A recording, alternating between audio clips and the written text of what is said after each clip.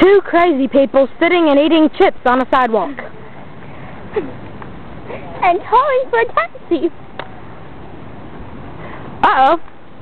Here comes somebody. Let's see what the reaction is now.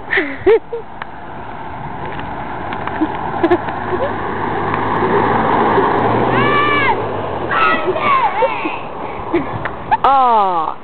So sorry for the two hobos eating Doritos on the street.